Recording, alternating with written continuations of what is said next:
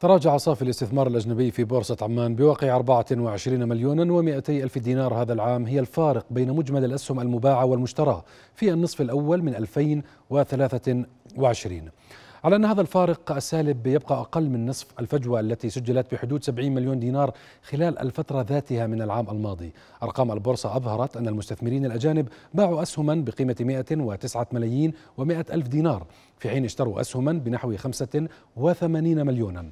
وشكلت صافي استثمارات الأجانب قرابة 10% من حجم التداول الكلي حتى نهاية حزيران.